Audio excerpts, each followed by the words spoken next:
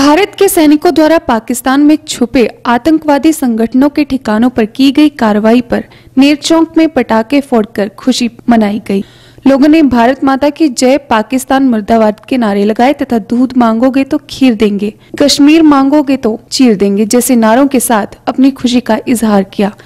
और कहा कि यह अभी शुरुआत है। इसके लिए हम भारत सरकार का धन्यवाद करते हैं तथा ऐसी कार्रवाई जो कि आज तक नहीं हो पाई थी, भारत ने पाकिस्तान को उसी के क्षेत्र में घुसकर उसके द्वारा पाले जा रहे आतंकवादी संगठनों को ध्वस्त करने का प्रयास किया है। यह कार्रवाई ऐसी ही चलती रहनी चाहिए जब तक आतंकवाद रूपी राक्षस को समाप्त न किया जाए। भारत के 40 सैनिक जब शहीद हुए तो आतंकवादियों और पाकिस्तान की कायराना हरकत विश्व पटल पर सबके सामने आई और सरकार से सभी को उम्मीद थी कि जल्द ही कोई बड़ी कार्रवाई होगी। पूरे देश में पाकिस्तान के खिलाफ आक्रोश था। आज जख्मों को इस कार्रवाई होने से थोड़ी राहत मिली है। नीरचौक में तेज सिंह बालिया, नरेश कुमार लक्की खूबराम, नायक रिक्की राणा, पवन, दीपक राणा, सैनी जितेंद्र गुब्बा, रमेश, बिपिन ठाकुर, उमेश शर्मा आदि ने कहा कि यह बहुत खुशी की बात है। भारत सरकार में अपना छप्पन इंच का सीना पाकिस्तान को दिखा दिया है, लेकिन बात यहीं तक नहीं रहनी चाहिए जब तक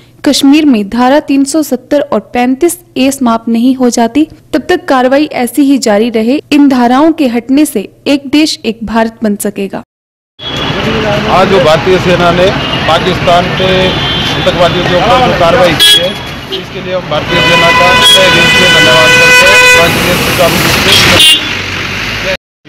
करते हैं। उसकी खुशी में हमने ताकि फोर गेट एक्सीडेंट वाले ने उसका समर्थन किया हुआ है और आगे को भी हम इसी तरह की कार्रवाई की उम्मीद करते हैं और जय हिंद, जय भारत।